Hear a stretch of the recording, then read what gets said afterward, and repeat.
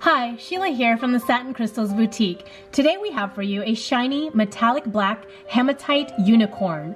This is a solid stone carved into a rearing magical horse. The mythical unicorn symbolizes endless strength and ultimate purity of heart.